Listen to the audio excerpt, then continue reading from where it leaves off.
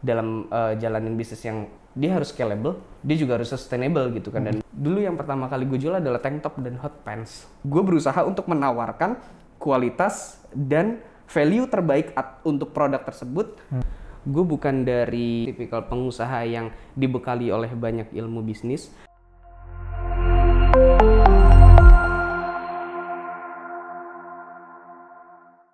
Oke, uh, balik lagi teman-teman ke YouTube Entrepreneurs Indonesia. Kali ini aku udah sama salah satu founder dan juga owner. Brandnya banyak banget teman-teman. Jadi ini alhamdulillah dapat kesempatan ya. Sebelumnya kita udah pernah ngobrol sama salah satu foundernya juga. Terus hari ini kita ngobrol lebih dalam lagi dengan brand-brand yang udah berhasil beliau cetak gitu ya. Jadi hari ini kita akan ngebahas tentang tiga strategi sosial media marketing, Hey Local, Zoma Basic dan Prep Studio hingga mencapai 4 juta follower. Gitu ya teman-teman ya. Buat teman-teman yang mau tahu, tonton dan simak video ini sampai habis. Sebelumnya aku mau ingetin teman-teman supaya follow, follow sosial medianya Entrepreneurs Indonesia. Ada Instagramnya, ada TikToknya, ada YouTube-nya, dan jangan lupa untuk hadir di webinar entrepreneurs.id karena banyak banget insight-insight yang menarik dan tentunya bisa ngebantu bisnisnya teman-teman baik yang baru memulai dan juga yang akan ngembangin bisnisnya gitu. Sesuai sama visinya entrepreneurs.id ya teman-teman. Semoga kita bisa benar-benar bisa ngebantu satu juta pengusaha di seluruh Indonesia. Oke nah kita langsung aja sapa salah satu narasumber kita nih. Halo Mas Dim apa kabar? Halo Randy alhamdulillah. Ya, alhamdulillah baik ya. Terus Mas Dim boleh say hi dulu nih sama teman-teman? Halo teman-teman entrepreneur entrepreneurs. Indonesia. Ya oke. Okay. itu. Jadi uh, Mas Dim sebelum kita masuk dan mungkin teman-teman di sini ada yang belum kenal. Oke. Okay. Mas Dim boleh nggak sih kenalin sedikit dulu? Mas Dim ini siapa? Backgroundnya apa? Terus sekarang lagi jalanin bisnis apa aja Mas Dim? Uh, halo uh, teman-teman entrepreneurs Indonesia, gue Dimas, Dimas Mairian sering dipanggil Mas Dim. Uh, tapi itu bukan uh, sebutan dari gue sendiri. gue biasa nyebut diri gue tetap Dimas sih. Backgroundnya gue mungkin diundang di sini sebagai uh, founder dari beberapa brand uh, yang saat ini gue jalanin. Ada Hey Local, Hey Mail, Prep Studio, sama Zoma Basic gitu. Kita belum punya nama grup tapi kayaknya Sun harus punya nama grup ya buat membawahi semua brand yang ada di situ ya. Mas Dim backgroundnya apa sih? Aku penasaran sebenarnya. Mas Dim ini berangkat dari mungkin sekolahnya dulu kecil sekolahnya. gimana, terus kenapa pengen jadi entrepreneur dan mungkin gak usah cerita sedikit nggak sih? Oke, okay. kalau background gue bukan dari bukan dari apa ya tipikal uh, entrepreneur atau tipikal pengusaha yang dibekali oleh banyak ilmu bisnis, gue kuliah uh, D3 di Politeknik Negeri Jakarta, jurusannya administrasi bisnis yang artinya kalau orang dengar oh administrasi bisnis pantesan jadi pebisnis gitu. Hmm. Oh salah. Administrasi bisnis itu artinya lo belajar tentang uh, bagaimana melakukan hal-hal kecil di dalam bisnis itu terkait administratif gitu. Hmm, hmm. Dan dan dan itu sama sekali bukan uh, kuliah bisnis. Hmm, hmm. Dan itu gue D3 Politeknik Negeri Jakarta. Masih kuliah gue mulai jalanin ini. Mulai jalanin mulai dagang lewat Instagram. Sampai kondisinya cukup untuk gue melakukan melanjutkan kuliah juga. Hmm. baru akhirnya gue lanjut uh, kuliah. Kul lanjutnya juga ke D4 sama di Politeknik Negeri Jakarta. Terus apalagi ya? Kalau Mas Dim berarti mulai bisnis dari umur berapa Mas Dim? Kalau misalkan oh, dari kuliah gitu ya. Udah uh, berapa lama kalau nyari nyari duit gue mulai sebenarnya gue suka suka dapat suka dapat rezeki aja sih di di selama gue sebelum sebelum sebelum kuliah juga udah dari waktu SMA gitu gue tuh hampir selalu selalu jadi orang yang kebagian dapat uh, tender kayak bikin jaket angkatan, hmm. bikin baju futsal gitu. Dan itu sekarang gue baru sadari kalau itu ternyata bisnis tentang bisnis yang bisa didapat sama orang yang punya kredibilitas ternyata itu bisnis yang bisa diambil sama orang yang punya nama besar. Hmm. sorry nama baik bukan nama besar. Kayak ternyata gue sudah melakukan itu dari dulu gitu. Gue udah okay. melakukan itu dari dulu dari SMA begitupun di kampus di kampus gue tip, uh, lumayan lumayan apa ya? Lumayan rajin jadi io kan kerjanya anak kampus gitu ya? Hmm. bikin event segala macam gitu kan. Gue terbiasa untuk melakukan hal-hal yang ribet kayak gitu. Karena gue tahu ada manfaatnya karena gue tahu ada manfaatnya. Hmm. Beberapa event yang ada di kampus dulu, bahkan gue kerjain itu orientasinya profit. Jadi waktu lagi kuliah pun gue ngerjain event itu yang ada untungnya, yang ada duitnya dan itu halal buat diambil gitu, Hmm, bukan hmm, yang bukan yang menggelapkan uang, bukan, Hmm, tapi memang yang boleh gitu. Hmm, hmm, hmm. Terus kalau untuk terkait sama yang sekarang, yang jalan, gue mau mulai dagang, mulai jualan di Instagram itu di tahun 2013. Yang artinya itu gue masih kuliah tingkat tiga, Eh, ya tingkat tiga. Gue mulai itu, jadi gue mulainya ini emang eh, dari kuliah gitu. Hmm. 2013 ya. 2013. Dan Pertama memang spes- apa tuh mas? Kalau misalkan boleh tahu 2013. pertama kali ya pertama kali itu gue nggak jualan baju pertama kali gue nggak jualan baju pertama kali itu gue jualan perlengkapan untuk pesta anak kecil ulang tahun itu itu kayak balon-balon huruf tulisan-tulisan yang happy birthday pakai bendera segitiga segitiga gitu. Itu gue jualan itu lewat Instagram. Memang dari awalnya gue spesifik semenjak tahun 2013 gue jualan eh, lewat Instagram gitu kan. Sampai gue pikir kalau yang gue jalanin waktu itu gue ngerasa gue ngerasa ada beberapa beberapa indikator yang tidak terpenuhi eh, dalam rangka membuat bisnis ini menjadi lebih besar gitu. Menurut gue harusnya ada beberapa faktor yang terpenuhi dalam eh, jalanin bisnis yang yang salah satunya adalah dia harus scalable dia juga harus sustainable gitu kan. Dan gue ngerasa yang gue jalanin waktu itu kayaknya nggak punya Nggak scale. punya something gitu yang bikin dia bisa scale yang gila-gilaan tuh kayaknya sulit deh sulit. Di situ gue baru mikir tuh setelah itu gue mikir kayaknya gue harus punya brand. Gue nggak bilang barangnya apa dulu. Nggak bilang barangnya apa nggak bilang barangnya apa dulu gue nggak bilang produknya apa. Yang gue pikir adalah gue harus punya brand. Karena brand ini yang akan nantinya jadi gue bisa jual apa aja gitu kan. Hmm. usut punya usut segala macam kita cek cek cek cek. Kayaknya waktu itu yang paling potensial marketnya perempuan. Perempuan usianya yang sama sama gue waktu itu. Waktu itu berarti gue sekitar berapa tuh usianya? Dua. 20 ya? 20 deh 20 tuh sekitar 20-an gitu kan. Under 30 gitu kan gue pikir. Kayaknya di situ deh. Akhirnya kepikiran lah oke kita bikin brand cewek yang saat ini hey local yang mungkin sekarang semua orang taunya ini adalah brand hijab. Brand fashion muslim mah hijab gitu. Dulu yang pertama kali gue jual adalah tank top dan hot pants.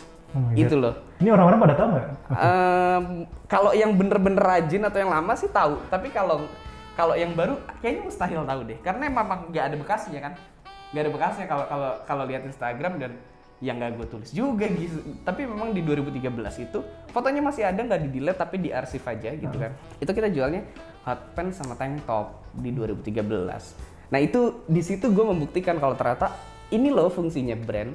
Jadi ketika produknya gue geser, jadi jualan hijab, jadi jualan baju muslim, sekarang orang mungkin sebagian non muslim masih follow lokal karena mereka apa? Mereka ngejar ngincer beli tas sama sepatunya. Yang itu bener-bener general banget gitu. Itu bukan produk muslimah, bukan gitu. Nah itu di situ gue gue gue membuktikan untuk eh, apa yang gue kerjakan eh, brand itu benar ternyata. Brand itu jujur gitu. Ketika itu memang sudah diterima, produk itu bisa bergeser di situ. Baru setelah Hello Local itu jalan 2014 kalau nggak salah Hello Local. Satu tahun berikutnya 2015 baru ada Heymail. Dulu namanya Local ID sama Mail ID. Baru aja kemarinan gue ganti jadi Hey Local sama Heymail. Terus Zoma Basic tahun berapa ya? 2018 kalau nggak salah deh. 2018 Zoma Basic atau 2019 gue lupa. Terakhir Prep Studio eh, 2020. Kemarin ya pas pandemi berarti. Sebenarnya menjelang pandemi kita launching pertama tuh bulan Februari. Bulan Februari kita launching, jalan sampai bulan Juni. Itu menarik tuh. Prep Studio itu di enam bulan pertamanya, di enam bulan pertamanya sudah menyamai level omset dari Heymel yang di tahun ketiga, sekitar tahun ketiga, tahun keempat. Hmm. Itu udah sama. Eh, karena kita punya shortcut eh, Resepinya. Iya, jadi tinggal diduplikat gitu kan. Eh diduplikat. Ternyata works.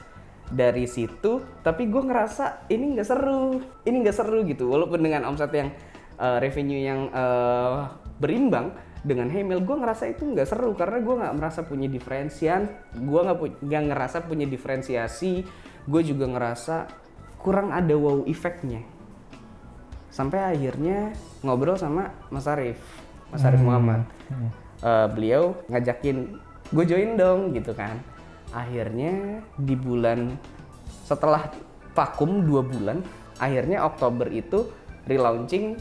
Ya karena gue menemukan kayaknya gue punya wow, wow- wow effect di sini dengan eh, berkolaborasi sama Mas Arif Muhammad as a owner bukan ambasador, BA, bukan BA. Nah di situ gue baru ngerasa oh di sini ada serunya nih. Akhirnya Prep Studio jalan. Kurang lebih gitu. Oke. Jadi start dari 2000 13. udah udah lama bener sebenarnya mas. ya.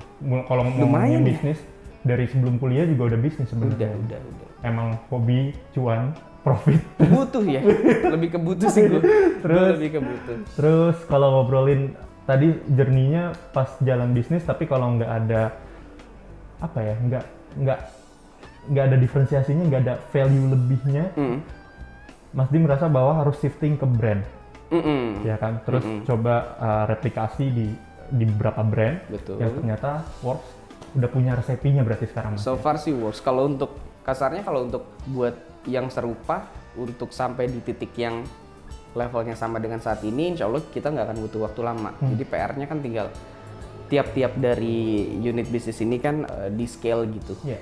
Paling itu sih. Oke, Mas Dim, eh, banyak mungkin dari teman-teman entrepreneurs eh, Indonesia yang baik itu peserta ataupun follower kita itu masih bias kalau ngobrolin tentang branding dan marketing.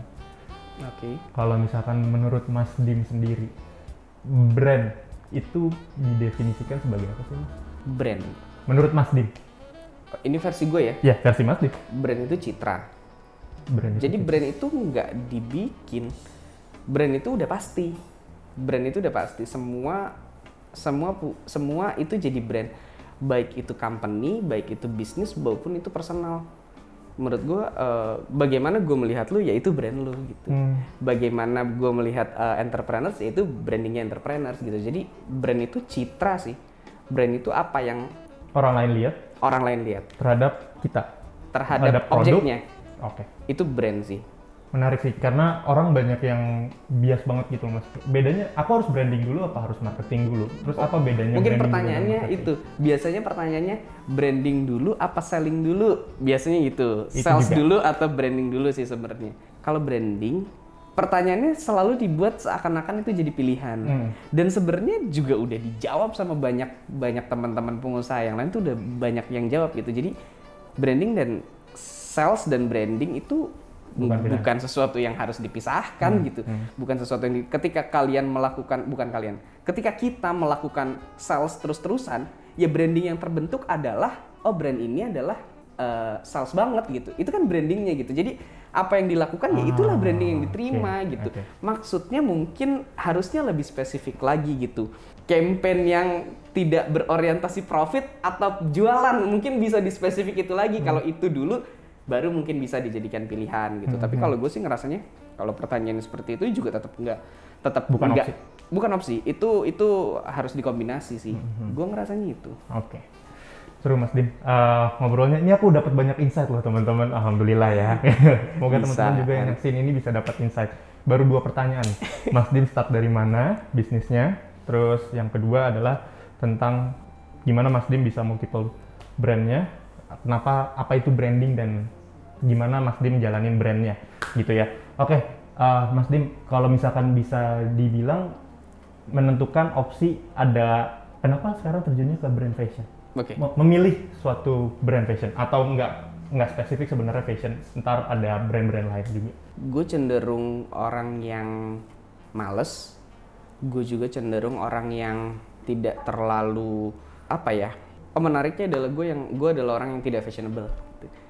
Gue tidak fashionable. Gue memilih eh, produk-produk dan akhirnya memilih eh, jualan fashion saat ini adalah karena gue merasa ini semua adalah sesuatu yang gue pakai. Jadi gue nggak perlu sulit untuk gue nggak perlu sulit untuk mencari produk itu kan jadi masalah produk itu jadi jadi jadi isu di awal kalau kalau kita mau jualan produk itu jadi isu dan gue nggak mau terbebani dengan itu gue mau terbebani dengan bukan terbebani sih gue maunya seru di urusan jualannya aja. Jadi gue memilih produk yang menurut gue itu mudah untuk di develop dan menurut gue untuk saat beberapa tahun yang lalu sampai hari ini produk-produk fashion yang saat ini gue jual adalah produk yang mudah untuk di develop karena gue nggak perlu menguras tenaga yang luar biasa untuk menghasilkan itu gitu.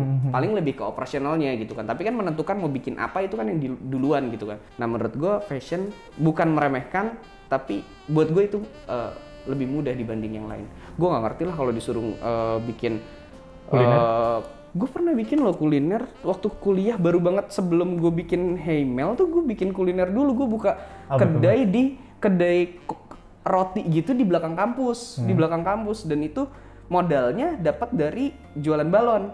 Gue ngerasa waktu itu lumayan lumayan itu dituntut kan ya orang tua tuh waktu itu gue kuliahnya D3 orang yang kuliah D3 itu udah pasti maunya cepet kerja Mm-mm. D3 itu fungsinya biar lu lulus biar cepet kerja. Iya. Jadi waktu itu gue dagang, walaupun gue sudah menghasilkan, orang tua gue nuntutnya ini buat sambil kuliah ya, nanti setelah itu kerja gitu. Dan di situ gue ngerasa, apa iya bener gitu. Akhirnya gue ke distract dengan itu, akhirnya gue bikin uh, kedai roti gitu buat bikin uh, sesuatu yang lebih terlihat, lebih terlihat nyata gitu ada dan bangkrut. Bangkrut gue cuma jalan 6 bulan, gue ngerasa nggak profit, beda sama waktu gue jualan yang balon, itu Balon. di Instagram. Yang itu profit di minggu pertama gitu. Minggu pertama gue udah udah bisa profit waktu itu eh, satu pekan satu minggu itu gue dapat 2 juta bersihnya gitu. Dan untuk anak sekolah yang baru mulai di minggu pertama anak kuliah yang baru itu gede banget. Dan gue pikir itu cuma satu minggu loh. Ternyata terus kayak gitu dan oh oke ini menguntungkan sekali gitu. Eh, sampai akhirnya gue bikin kuliner. Jadi kalau kenapa nggak kuliner? Karena gue udah pernah buat dan gue gagal. Jadi untuk produk fashion gue ngerasanya itu, Itu mudah dibuat. mudah. Makanya eh, fashionnya fashion yang gue pegang sekarang kan dari Hey Mail, Hey Local, Prep Studio, Zuma Basic itu kan sebenarnya bentuknya basic. Eh, stylenya kita tidak mengutamakan tren. Gue nggak ngejar-ngejar tren. Jadi gue ambil yang basic, gue berusaha untuk menawarkan kualitas dan value terbaik at- untuk produk tersebut dengan model yang eh, umum. Jadi gue apa namanya menawarkannya kompetitifnya di harga sama value, Hmm. bukan di model. Mm-mm. Gitu sih. Seru ya teman-teman. Ini Mas Dim berarti dulu pernah jualan, terus pernah bangkrut Pernah juga. pernah pernah pernah. Terus dan ternyata adalah produk kuliner. Banyak rahasia-rahasia yang Mas Dim ungkap di sini nih. Tadi Iya, iya, pertama, iya, iya. nggak apa-apa ya Mas Dim. Bener bener. Tadi gue cerita lokal ya. Tadi cerita Jualan lokal. tank top. Dulu jualan tank top. Terus Mas Dim startnya pernah jualan balon, Bener. jualan kuliner, Iya. terus sekarang ke fashion. Hmm. Ini juga sempet sih mas aku alamin. Kayak dulu hobinya jualan. Aku Apa dulu? Apa dulu? Geologi. Apa? Fakultas Teknik Geologi. Oke. Jualannya? Jualannya karena ngelihat ada marketnya, Hmm. orang butuh palu, orang butuh kompas, Oh oke. orang butuh loop, eh, sellernya banyak, ada di kelas, Hmm. supply, Oke. jualan, jualan, jualan sampai bayar kuliah sendiri. Wow mantap. Terus Gitu. lanjut nggak? Enggak, karena orang Karena- tua, karena- orang tua minta yang penting lulus kuliah kerja, Ah, lulus kuliah kerja. Lulus Umum kuliah, ya, kerja. paradigma umum. Lulus tahun berapa kuliah? Aku 2017. Oke. Baru kemarinan. Jadi aku lulus 2017 ya lucu sih kalau misalkan emang padahal ini menguntungkan. Hmm, hmm, hmm. Terus emang tapi emang waktu itu belum ngerti gimana. Sebenarnya tapi kalau di 2017 udah udah itu sih udah udah bergeser tuh paradigma dari orang-orang tua sebenarnya udah mulai mulai mulai terbuka tuh dulu waktu waktu di 2013 2014 tuh Aku masih- jualan 2014. nih. Oh itu 2014 kejadiannya. Ya, Aku lulus berarti- telat bukan karena jualan, karena emang bandel. Oke oke oke oke. Ini juga diungkapin di sini. Ini banyak rahasia. Mungkin nanti judulnya rahasia aja. Jadi kalau di tahun-tahun itu make sense orang tua tuh masih minta eh, anaknya untuk jadi pekerja. Mereka lebih percaya kalau kita menyandarkan diri kita pada perusahaan yang lebih besar. Perusahaan juga nggak main-main. Biasanya mintanya kan satu PNS, dua Hmm, BUMN. swasta yang asing, BUMN kan kayak gitu gitu. Bersyukur buat anak-anak yang sekarang lurus. Mungkin karena udah terlalu banyak success story-nya, jadi memang udah nggak terlalu sulit ya. Orang tua orang tua tuh bisa menerima kalau aku mau jualan ini, aku mau jualan itu tuh udah lebih mudah. Iya. gitu. Betul. Itu ya teman-teman. Jadi menarik nih story-storynya Mas Dim. Kita ngobrolin langsung strategi bisnis. Ini orang-orang pasti pengen tahu lagi. Nah, uh, journey-nya satu-satu Hey Lokal, Hey Mail, Zoma Basic. Kalau misalkan Mas Dim bisa cerita singkat. Awal mulanya bentuknya benar-benar sendiri atau ada beberapa founder dan sebenarnya ada visi grup kah dari setiap bisnisnya? Oke. Oh. Pertanyaannya rada susah teman-teman, beda untuk Mas Dim. Bercanda Mas bukan angle sih, bukan bukan sulit sih. Tapi ini ini gue bisa ambil angle yang berbeda-beda karena si si setiap brand ini punya historical yang memang eh, unik. Kayak mungkin gue mulainya dari. Hey Local itu Hello kali itu brand yang dibuat jadi gini dulu gue bikin sama eh, mantan pacar gue Oke. mantan pacar Ini nggak apa-apa kalau istri Nggak nonton. apa-apa, Nggak apa-apa. karena sekarang udah jadi ibunya anak-anak Alhamdulillah ya. jadi Oke, menarik. dulu gue bikin sama pacar gue waktu itu terus kita nabung buat nikah kita nabung buat nikah dengan jualan balon itu segala macam jadi gue punya uh, online shop sendiri istri gue yang dulu masih jadi pacar gue punya online shop sendiri terus kita nabung nabung untuk uh, biaya nikah cara nabungnya adalah gini dulu istri gue punya penghasilan yang lebih besar daripada gue waktu itu.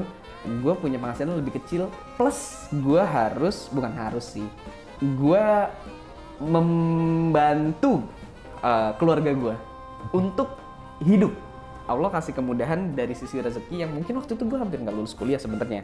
Jadi kayak di semester semester terakhir itu waktu itu gue sempat udah nggak bisa bayar nggak bisa bayar semester tuh. Padahal semesteran gue murah banget sumpah.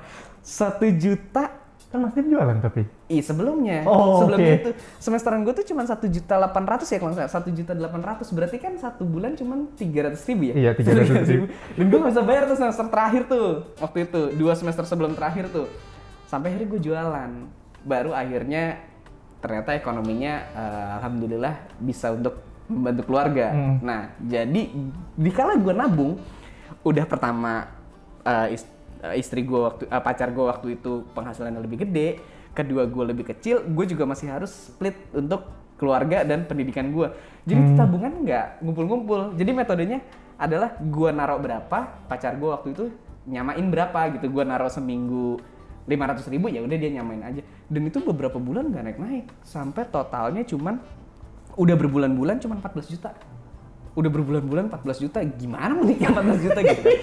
terus akhirnya kita ngobrol. Oke. Seru banget ya. ini nggak ini nggak bakalan jadi nih. Kapan jadinya nih udah berbulan-bulan? Karena kita punya kebutuhan.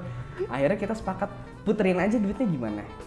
Tapi jadi apa? gitu kan. Maksudnya kan kita selama ini jualan soalnya kan nggak bisa dibilang nggak pakai modalnya kecil. Karena waktu itu kita dropship. Gue waktu itu uh, uh, dropship. Walaupun dropshipnya sama-sama di Indonesia ya uh, awalnya. Tapi akhirnya gue juga gue sempat di du- 2014 gue udah ngimpor juga dari dari dari luar kan. Tapi eh, apa namanya eh, mayoritas eh, dropship. Jadi memang modalnya nggak perlu banyak gitu kan.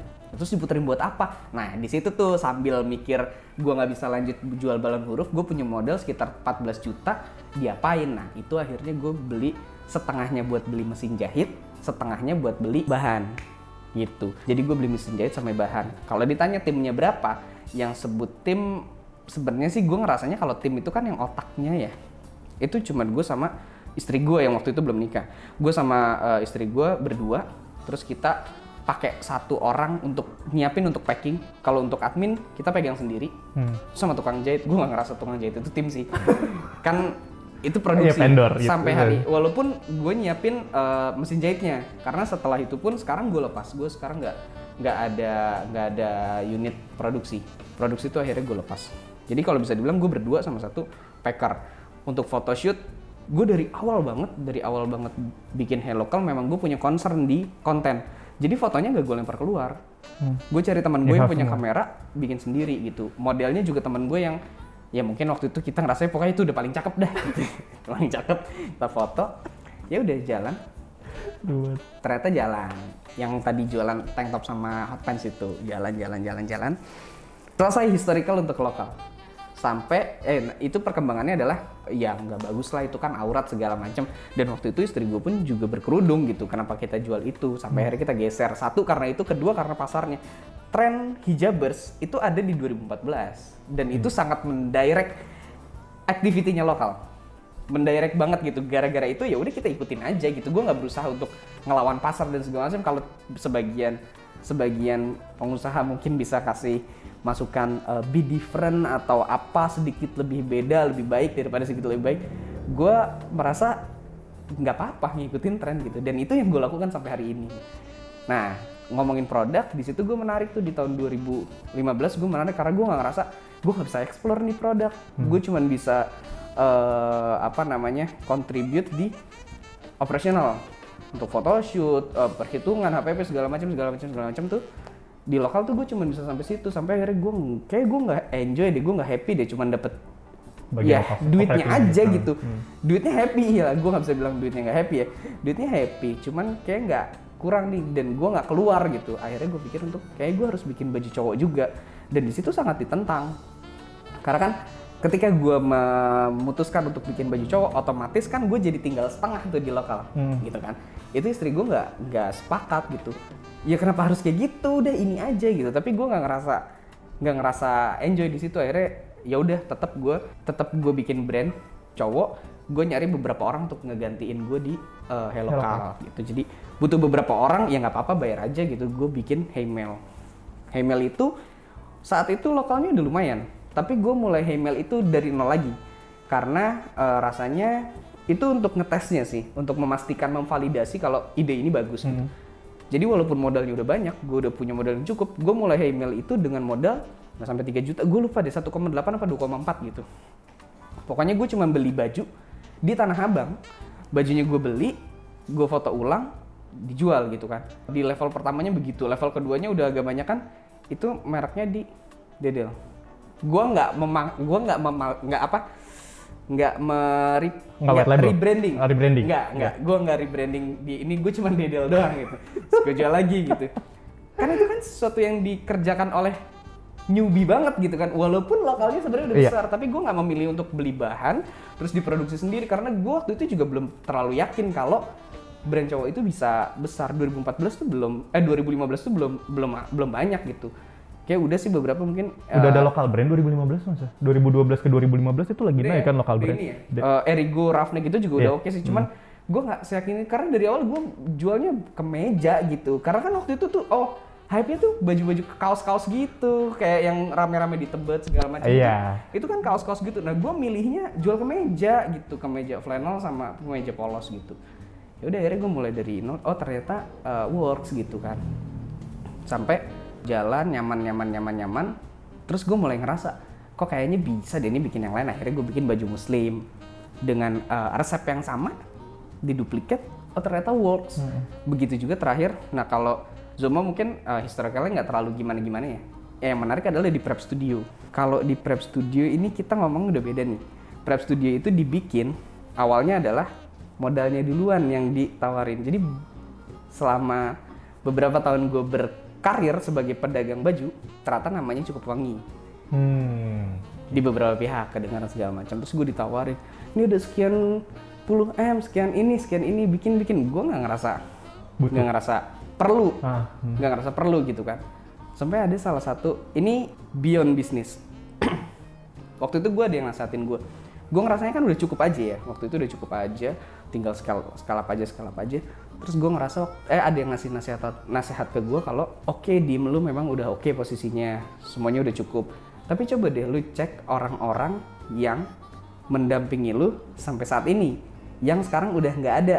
Karena ini ada penyakit nih ada penyakit. Kalau lu bikin bikin usaha atau bikin bikin brand atau bikin usaha lah intinya. Apalagi sama teman-teman biasa mereka ikut join. Nggak lama setelah itu mereka ngerasa pintar mereka pasti pengen bikin usaha juga. Itu itu udah umum lah terjadi. Nah itu terjadi. Semenjak perjalannya Heymail, uh, Hey Local itu terjadi banyak orang-orang yang bareng gitu terus mereka ngerasa pintar terus akhirnya mereka bikin usaha sendiri. Terjadi di perusahaan aku juga. Pasti dong. Nah terus dan dan bagian terburuknya ternyata bikin usaha itu nggak semudah kerja gitu dan akhirnya nggak berhasil juga. Ketika Walaupun dia tahu semua A Iya. sampai Z-nya. Iya. Dan ketika nggak berhasil, nggak semudah itu untuk dia kembali lagi gitu. Malu juga atau ada gengsi juga atau yang nggak tahu aja harus berbuat apa. Nah waktu itu gue ada yang ngingetin gitu. Coba cek orang-orang yang kayak gitu gitu. Gimana kondisinya? Setelah gue cek ternyata bener banyak yang dari mereka yang memang tidak lebih baik kondisi kehidupannya semenjak eh, kita pisah gitu kan. Mereka memisahkan diri gitu. Akhirnya gue panggil panggilin. Nih gue ada yang nawarin gini gini gini gini gini gini. Mau nggak? Anggap aja ini namanya project thank you untuk kalian gitu kan. Gue bikin ini, ini ternyata eh, ya mereka sangat menyambut baik gitu. Cuman gue punya PR jadi kan itu modalnya udah disiapin terus orangnya yang mau gue kasarnya yang mau gue berikan berikan kue kan udah siap juga gitu. Nah gue harus nyari diferensiasi gitu kan.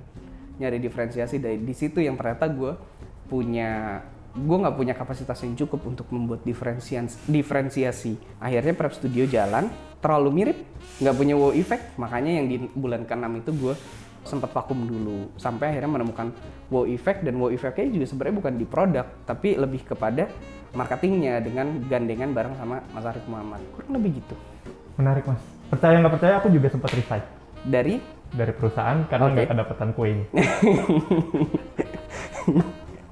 Ini nggak apa-apa ya? tenang aja Nggak apa-apa ya? itu juga terjadi gitu. Jadi waktu sharing mungkin teman-teman ya. uh, 2019, ba- 2018 masuk, terus 2019 nggak lama masuk tuh importir uh, ngehit. oke Kita ngehit sebulan tuh top revenue lah di Oke. di bulan Maret itu kan. Terus aku top ngerasa revenue berdasarkan apa nih maksudnya uh, member nilai uang masuknya lah dari membership. Dibandingkan tahun uh, periode Daripada berikutnya. dari 2015, Oh. Berarti- 2016. berarti dibandingkan periode sebelumnya Iya, dibandingin periode sebelumnya. Itu aku nggak ngerti sama sekali kan. Terus aku coba, udah nih importir aja berhasil. Coba deh aku resign. Aku resign bawa sendiri. Amsyong. Habis 8 kondisinya waktu itu tahu A sampai Z-nya tahu Tapi Dan- ngebuatnya bukan importirnya, tapi Oke. ngebuat bisnis eventnya. oke Tapi jalanin bisnis eventnya tanpa punya kaki, Mm-mm. cash flow macet. Jadi karena kalau importir bisa balik modal, bisa profit, itu emang dari uang membershipnya. Oke. Tiket hanya untuk posisi uh, ngebayarin ad spend ataupun iklan, oke gitu kan. Aku bisa bayarin ad spendku cuma seri gitu loh sama biaya oke tiket. Nggak ada kakinya, nggak ada produk belakangnya. Jadi aku mau upsell, mau closing, apa pun nggak bisa. oke Gitu. Jadi jalan tiga bulan, balik lagi. cuma tiga bulan Tiga bulan. oke terus terus tiga bulan balik lagi terus tapi welcome sih. Nah. Welcome sih foundernya. Uh, foundernya importer yang sekarang jadi investornya entrepreneur. Oke. Gitu. Seru sih tapi emang ada pengalaman kayak gitu dan menarik ternyata itu juga dialami sama itu hal-hal yang sangat umum ya terjadi di di sekitar kita begitu memang ini sebenarnya eh, arahnya muaranya tuh kita bicara tentang talent ya. Eh, people talent gitu kan.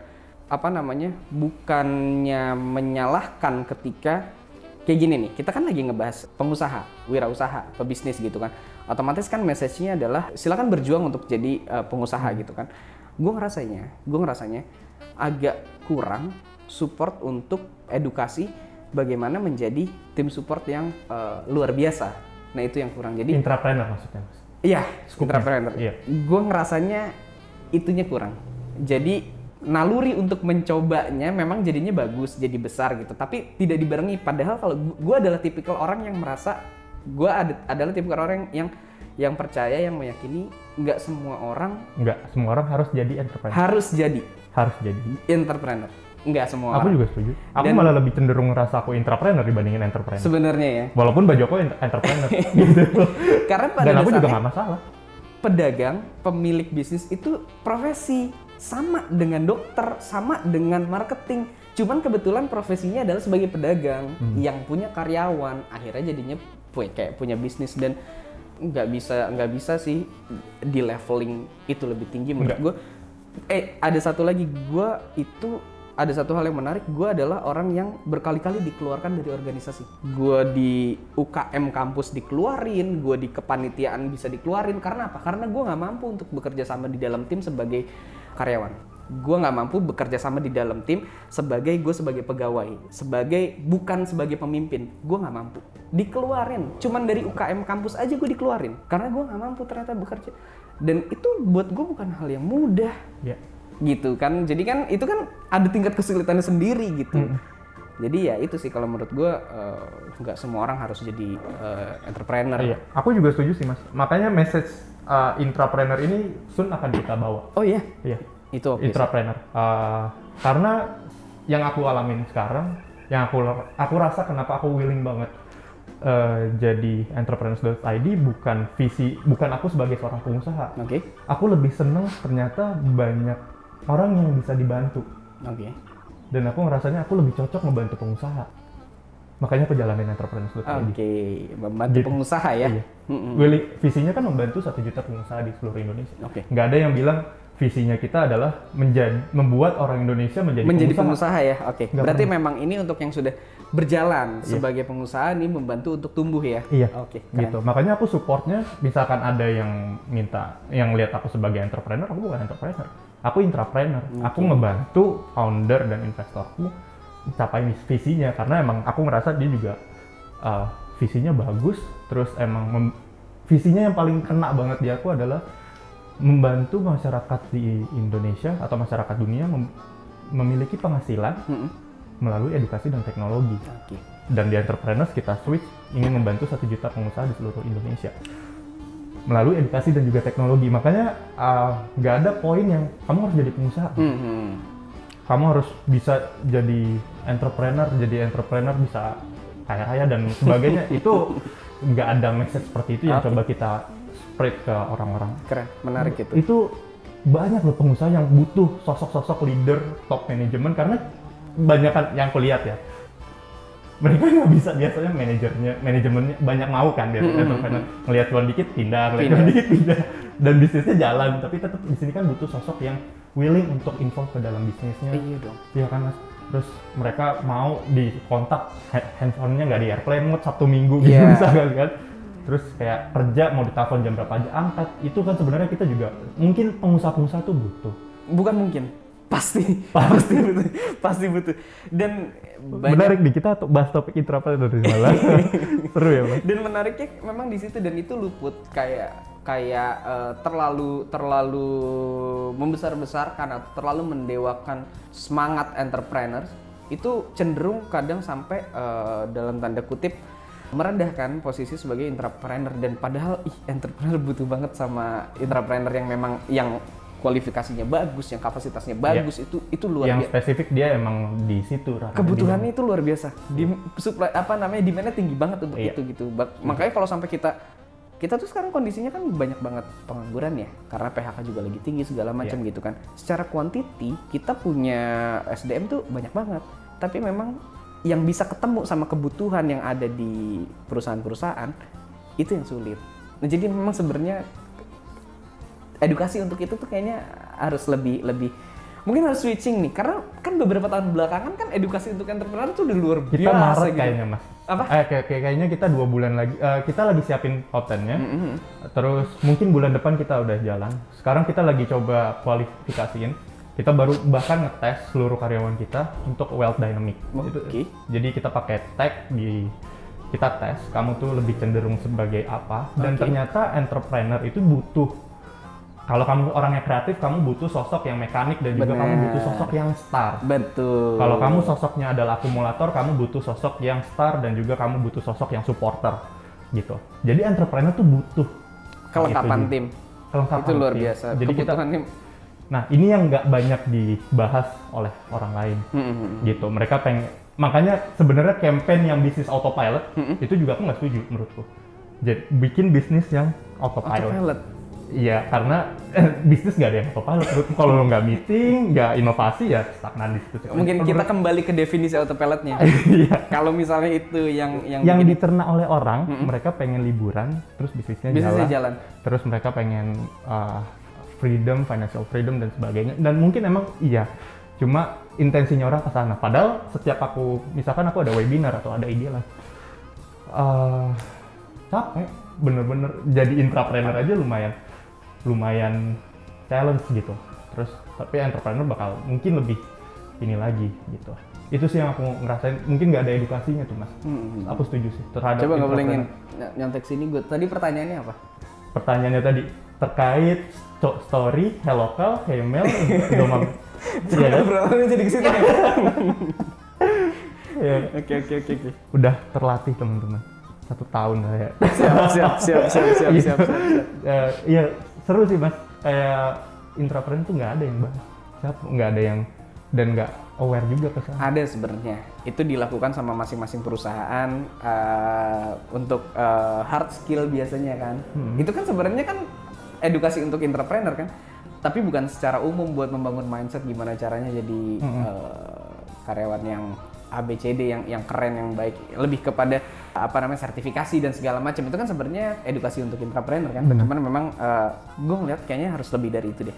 Harusnya sih lebih. Dan harusnya ada pihak-pihak yang concern dan support. Gue sih mau loh support untuk eh, kegiatan semacam itu. Karena gue butuh banget.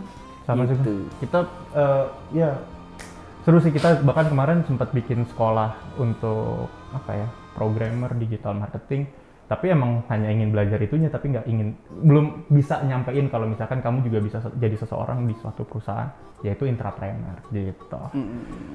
Jadi melebar teman-teman ngobrolnya sama Mas Dim kanan kiri. Tadi Mas Dim banyak bahas topik terus aku banyak ngegali deh jadi. Thank you Mas udah mau sharing ya. Sama-sama. Oke, eh, udah em, mungkin nggak kalau misalkan apa ya Mas Dim? Pengen bahas tadi kita tentang strategi marketingnya Mm-mm. sedikit mungkin Mas Dim bisa sharing untuk bisa nyentuh empat bisa jutaan follower oke atau resepinya dalam suatu bisnis sebenarnya apa sih yang diduluin apa sih yang dikedepanin apakah engagement follower atau apa sebenarnya yang paling penting dari strategi sosial media marketingnya Mas Dim oke untuk seluruh bisnis. semua brandnya ya. Hmm. Ini kalau kita ngomongin ini artinya kita ngomongin style ya. Eh, kembali kepada si pemegang kendali yang di sini berarti gue gitu kan. Ini belum tentu cocok di kalian dan ini juga belum tentu bisa diduplikasi walaupun semuanya gue ceritanya juga mungkin nggak belum tentu bisa diduplikasi gitu.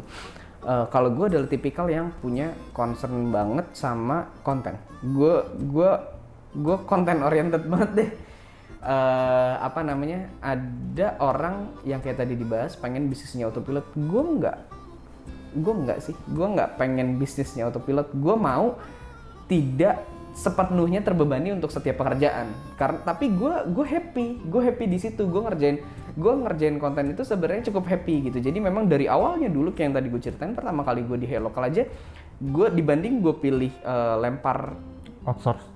Keluar. outsource atau lempar ke vendor kan bisa ya produk dilempar tinggal 100 ribu 150 ribu untuk satu foto produk. Gue memilih untuk gue buat sendiri. Yang itu trial error banget gitu. Karena itu pertama pertama kali gue bikin photoshoot sendiri modelnya juga nggak profesional fotografernya juga nggak profesional itu semuanya temen gitu kan. Tapi gue memilih untuk itu. Bahkan kalau untuk di Heymail bisa dicek gue nggak gue sengaja nggak ngilangin fotonya. Foto pertama yang diposting di Heymail adalah foto gue sendiri gitu. Yang nggak ganteng juga gitu. Tapi gue ngerasa gue concern banget sama itu Itu gitu. Mas Gua- Dim yang jadi karakternya atau gue jadi, objek? gue jadi modelnya. Istri gue yang fotoin gue memilih untuk beli kamera dibanding bayar orang untuk fotoin. Yang udah pasti sebenarnya menurut gue akan bagusan ketika gue bayar orang. Harga kamera juga waktu itu lumayan. Waktu itu baru masuk mirrorless itu baru masuk tuh. Mhm. gue beli untuk foto. Padahal budget itu bisa dipakai untuk sewa sama eh, sewa model sama fotografernya gitu. Karena gue ngerasa enggak enggak enggak. Gue harus belajar ini gitu sampai pelan-pelan pelan-pelan pelan-pelan sampai akhirnya gue paham step by stepnya oh foto tuh harus gini konten tuh harus gitu gitu. Eh, kalau bicara strategi marketing selain gue fokus banget sama konten Instagram itu punya fase eh, dunia per Instagraman di Indonesia itu punya fase. Gue salah satu yang di awal kan ya, gue di 2013 gue monetize kan. Hmm. Maksudnya kalau lo sebagai user di 2013 2014 Baru update itu foto. ya lumayan gitu. Tapi gue langsung monetize lo di situ, gue nyari duit di situ gitu kan. Jadi gue salah satu pengguna awal. Nah di situ fase awal Instagram dulu saling mempromosikan itu ada metodenya namanya shout out for shout out. Itu eh, kita sebutnya SFS. SFS itu bisa grup, bisa personal. Sesederhana saling mempromosikan. Gue sama lu, lu punya eh, toko eh, online shop, gue punya online shop. Ya udah lu promosin gue, gue promosin lu. Tapi di, dulu orang kita tuh pinter-pinter banget gitu. Terus berkumpul jadi grup. Berkumpul kayak gini, misalnya jadi berlima gitu kan. Berlima ini dijadwalin, nanti jam 12 semua orang memposting dagangan empat orang lainnya eh, di jeda 5 menit sekali. Terus bergiliran bergiliran dan itu sharing followers yang gratis dan itu cepat banget. Syaratnya satu, followersnya harus sebanding, range-nya sebanding. 5 sampai 10 ribu, 10 sampai 20 ribu itu harus sebanding dan itu works banget dulu gratis gitu. Jadi gue gak sulit ketika sekarang ditanya harus gimana gitu. Karena dulu yang terjadi adalah gitu gratis gitu kan. Saling mempromosikan saling mempromosikan. Terus metode metode promosi dalam Instagram dari dulu menurut gue induknya cuma ada tiga. Shout out for shout out endorse sama paid promote. Cuman itu sisanya sekarang tuh cuman turunan-turunannya aja gitu kan. Bentuknya di, diduplikasi terus dimodifikasi gitu kan. Yang pertama tadi shout for shout out. Terus endorse endorse dulu juga bedanya dulu mah kita kasih barang orang posting. Nggak ada tuh bayar gitu kan. Sampai beberapa waktu kemudian jadi bayar tapi murah. Baru aja di sekitar 2015 tuh yang gila banget gitu. Pertama kali tuh gue pakai gue pertama kali ngeluarin duit gede banget buat posting foto. Kayak story belum terlalu deh waktu itu. 2015 udah story. story baru masuk deh kalau nggak salah. Tapi harga foto fits itu eh fits itu masih masih paling works waktu itu. Nah waktu itu gue bayar 2 25 juta untuk satu fits dan saat itu gue ngerasa itu mahal banget. Tapi gue harus tahu gimana impactnya. Mhm. dan ternyata 25 juta itu balik modal dalam waktu nggak nyampe satu jam itu saat itu gitu. Jadi memang gue kalau sama konten tuh gue uh, berusaha tahu banget ini impactnya apa ini impactnya apa gitu. Itu yang terjadi. Terus gue pakai endorse terus uh, terakhir ya paid promote. Paid promote kan sesederhana orang atau public account mempromosikan uh, barang dagangan lu melalui konten yang lu kirim. Bedanya sama endorse kan endorse barangnya tuh dipakai. Kalau paid promote itu kan kontennya dikirim gitu kan. Ya udah itu doang uh, itu gue lakukan. Nah itu punya fase Eh, di sampai 2015 tuh yang yang rame banget tuh SFS sama endorse yang gratis-gratis murah. 2016, 2015 sampai 2017 Itu influencer naik ya. influencer mulai naik, terus eh shoutout eh, SFS itu mulai turun. 2017-an ya ads masuk kan? 17 atau 18? 17. 2017 masuk. Iya, 17. Gue di situ ketinggalan. Kalau di ads gue nggak, gue nggak jago, gue nggak bisa. Gue gue ngerasa, jadi ada ada beberapa yang bisa dibilang kompetitor ya. Ketika masuk ke fasenya ads sampai 2019, tahu-tahu keasikan dagang doang, tahu-tahu pas ngecek, oh gue ketinggalannya jauh, gue ketinggalan jauh. Ternyata ada faktor pembedanya, metode lainnya semuanya kita sama, kita pakai collabs dan segala macam gitu kan. Tapi eh, gagal di ads. Ternyata yang yang eh, beberapa kompetitor kita pakai ads dan itu ninggalin kita jauh gitu. Barulah akhirnya tuh wah kita harus eh, ngulik ads nih. Barulah 2019 2020 kita mulai pakai ads gitu dan akhirnya menemukan pola yang tepat. Oke, harus begini gitu kan. Baru gini. Terus apa ya? Abis itu ya di 2000 ya ketika fase apa namanya influencer itu naik baru kita memahami kalau kalau influ jadi ada ini lagi nih ada dua hal lagi. Instagram dikunci sama Instagram gak dikunci itu itu sangat sangat beda banget loh. Dulu tuh trennya Instagram tuh dikunci Ya. private. Sampai masuk ke ads Instagram nyuruh kita milih lu mau ngunci atau mau ads? gitu kan. Iya. itu pilihan gue dulu milih buat ngunci. Gue ketinggalan. Tapi ternyata yang eh, kalau lu mau pakai ads ya lu juga nggak bisa cuman ads asal-asalan. Ternyata adsnya harus kencang gitu kan. Iya. nah setelah itu akhirnya gue mau nggak mau gue harus pakai ads akhirnya gue mikir gimana sih caranya biar gue nggak usah private account tapi tetap eh, Bisa ngiklan. naik Oh, tetap bisa ternyata naik. Oke. gue butuh viral. Ternyata gue butuh viral. Biasanya viral itu ya kita pakai jasanya uh, influencer. Dan ternyata setelah bayar dan setelah kita kasih barang ya lu nggak akan jadi viral. Yang bikin lu viral adalah campaignnya. Kontennya Kontennya seperti lagi. apa? Kembali lagi metodenya. Judulnya bisa sama endorse. Judulnya bisa sama collabs tapi ketika kontennya narasinya tidak sampai gitu nggak kena ke audiens ya lu nggak akan viral gitu sesederhana ketika kemarin campaign terakhir di Prep Studio yang baliho Hmm, itu kan super viral sih. dan Viral itu kan Ada tulisan bawahnya. itu bukti kalau detail-detail itu sangat mempengaruhi. Bayangin ya, misalnya waktu baliho itu tulisannya gue ganti, bukan siap menjadi nomor satu, ganti aja yang lain. Kira-kira hasilnya akan sama apa enggak? Belum tentu. Seandainya saat itu eh, fotonya Arif Muhammad eh, nggak pakai kemeja rapi kayak gitu, hasilnya sama atau enggak? Itu kan itu kan Tes. setiap detail itu jadi penting gitu. Hmm, hmm, hmm. Makanya gue bilang dari awal dulu sampai hari ini yang nggak berubah adalah gue concern banget sama konten. Setiap detailnya. Itu sih. Oke. Jadi strateginya adalah di konten. gue Key-nya. concernnya di konten. Oke, Mas Bim. Terus eh, tadi aku sebenarnya bingung sedikit ya, engagementnya Hey Lokal, Hey Mail, Prep itu nggak kayak akun jualan. Kayak apa tuh? Iya, Akun kayak- gosip. ya akun yang bener-bener pokoknya posting apa aja komen semua. Sampai tadi aku cek sebelum jalan. Coba dia pernah ah, tim videografer aku penasaran. Hey Lokal gimana Ran gitu. Coba cek gitu. Ada 185 ribu. Komen ya. Ini lebih banyak dari follower entrepreneur, komennya aja lebih banyak dari follower entrepreneur atau gitu. ya itu bagian itu bagian dari bag- bagian dari uh, concern. Tapi sebenarnya nggak seluar biasa itu nggak seluar biasa itu maksudnya komen yang sampai puluhan ribu dan ratusan ribu itu di momen-momen tertentu. Nggak bisa kita bikin itu terus-terusan tapi itu udah cukup untuk menjaga menjaga apa namanya uh, eksistensi itu udah cukup. Jadi memang uh, ya orang bisa bilang orang bisa kenal apa namanya uh, brand yang ada di bawah gue itu adalah brand yang uh, mengutamakan engagement. Biasanya ya cukup impresif lah kalau buat orang-orang. Jadi emang engagementnya cukup lumayan. Uh, uh, atas izin Allah kita dikasih uh, engagement yang cukup bagus. Nah itu memang selain visual peran dari uh, caption itu sangat mempengaruhi gitu. Caption dan uh, narasi yang kita bangun baik itu melalui postingan feeds atau di uh, Instagram Stories itu itu itu bukan pekerjaan sehari jadi itu itu di maintain dan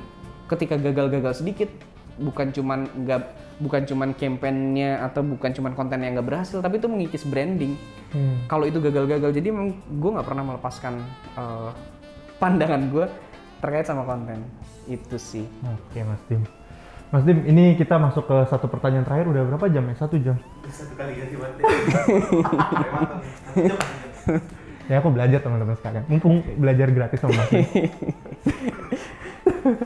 Mas Dim, satu pertanyaan terakhir. Ah, boleh kasih saran atau tips mungkin buat teman-teman yang baru mau mulai atau sekarang lagi jalanin usahanya dan ngadepin challenge karena ada PPKM, PSBB, new normal, ada level 4 sekarang. Aku nggak tahu sampai kapan. Boleh kasih tips Mas Dim ke teman-teman yang mungkin di sini bisa jadi pengusaha atau mungkin orang yang nggak bukan pengusaha background. Ini agak sensitif sih ketika ditanya uh, saran. Masukan mungkin. Dan dan soalnya sekarang lagi ada demam baru nih demam baru karena ada salah satu postingan dari salah satu uh, orang besar. Uh, gue juga respect sama orang tersebut. Ernest ya. Ernest tuh sempat posting yang orang sering menceritakan kisah suksesnya success story-nya tapi mereka lupa menceritakan privilege atau apa namanya peran harta dan orang tua dalam perjalanan mereka gue setuju banget sama itu luar biasa setuju yang jadi masalah adalah sebagian orang di luar sana mengambil itu sebagai senjata. Kalau oh dia sukses mah karena punya privilege, gua enggak karena gua nggak pro- nggak punya privilege dan itu berarti normal. Jadi gua nggak apa-apa nggak sukses. Jadi saran-saran yang dimasuk nih kayak kayak kan gue diminta untuk kasih saran atau kasih masukan. Itu dengan sendirinya untuk sebagian orang akan langsung mental gitu. Ah itu kan elu. Ah itu kan elu. Ah lu. Nah itu jadi jadi masalah. Tapi eh, itu bukan sesuatu yang bikin gue jadi ya nggak perlu ngasih gitu. Ya gue nggak apa-apa. Kalau gue ditanya gue jawab gitu. Eh, cuman itu isu aja. Jadi sering memang itu lagi terjadi sekarang. Kalau menurut gue ya baik lo menjadi entrepreneur atau menjadi entrepreneur eh, lo itu butuh butuh satu poin lo itu butuh satu satu bahasa klisenya sebenarnya eh, motivasi. Tapi sebenarnya lu butuh alasan. Lu butuh alasan untuk mengerjakan itu. Ketika alasan lu cuma sesederhana dagang karena apa? Karena gue baru di PHK dagang karena apa? Karena gue baru dipecat dagang ya dagang apa ya gitu kan? Mungkin ada yang berhasil tapi menurut gue kemungkinan berhasilnya kecil lu harus menemukan alasan lain kenapa lu harus berdagang. Lu harus menemukan alasan lain kenapa lu jadi content creator. Kalau lu nggak bisa menemukan itu nafas lu akan pendek. Nafas lu akan pendek. Tapi kalau lu bisa menemukan alasan yang tepat mau lu jatuh mau lu gagal mau lu eh, jempalitan lu inget alasan lu lu bisa kembali ngejalanin itu. Karena yang penting menurut gua adalah eh, konsistensi. Pasti lu punya teman yang dari sebelum lu jualan dia udah mulai jualan. Tapi atau dari sebelum lu usaha dia udah mulai usaha. Tapi ternyata eh, gagal dan eh, apa namanya eh, nggak dilanjutkan. Padahal kelihatannya potensial. Itu menurut gue cuma masalah secara teknis ya. Alasan Eh, utama utamanya sih memang itu memang bukan rezekinya gitu. Tapi eh, secara teknis itu karena nggak ada konsistensi. Dan dia nggak punya alasan karena ngejalanin itu gitu. Ketika berhasil ya berhasil aja gitu. Kalau gue sih yang paling sederhana dan yang paling paling sering banyak berhasil biasanya alasan ekonomi itu biasanya paling sering. Dan tapi itu bukan satu-satunya alasan. PR-nya PR-nya kalau tadi masukannya apa? PR-nya adalah cari alasan yang paling tepat yang bisa kalian bawa sampai kapan pun. Jadi ketika lu jatuh lu lu berantakan lu bisa kembali lagi ke situ. Oke, deep banget mas. Bahasannya ngobrolnya kita dalam banget. Oke, thank you banget Mas Dim ya, udah mau sharing masukannya, inputnya. sama-sama, Jadi terima kasih kalau ngobrol sama Mas Dim, yang aku simpulin satu poin yang terakhir adalah kalau misalkan teman-teman uh, buat mulai sesuatu nggak harus entrepreneur ataupun entrepreneur, cari alasan yang kenapa teman-teman kalau aku ya Mas Dim kalau aku kenapa semangat bangun pagi Mm-mm. terus ternyata kalau melihat visinya lebih enak bantuin pengusaha dibandingin jadi pengusaha Itu oke banget. itu oke banget. itu pas kemarin sih ngelihat kayak kayaknya kekecilan deh kalau menjadi pengusaha aja aku bilang kayak gitu bukan mengecilkan Enggak, entrepreneur. enggak, enggak, enggak, enggak. Enggak. tapi kayaknya indah kalau misalkan bisa ngebantu satu juta orang okay. khususnya pengusaha gitu itu sebenarnya uh, message yang mau kita sampaikan makanya visinya entrepreneur ngebantu satu juta pengusaha bukan ngebuat satu juta pengusaha gitu. Oke thank you Mas Dim buat waktunya. Sama-sama, terima kasih banyak. udah mau sharing mampir. banyak hal rahasia-rahasianya. Tadi teman-teman ini ntar kita sharing kita tanya dulu Mas Dim ini boleh di sharing atau enggak? Karena banyak banyak uh, rahasia-rahasia yang diungkap di sini. Nah buat teman-teman yang mau tahu uh, informasi lebih lanjut mengenai uh, pengusaha-pengusaha lain baik itu dari success story-nya ataupun journey-nya seperti apa teman-teman jangan lupa untuk follow sosial medianya Entrepreneurs Indonesia karena di situ banyak banget uh, ide-ide menarik terus input input inputan menarik yang kadang mau yang gratis mau yang berbayar silakan gitu loh. Jadi buat teman-teman itu aja sih menurut aku untuk hari ini. Uh, sampai jumpa teman-teman. Bye. Dadah.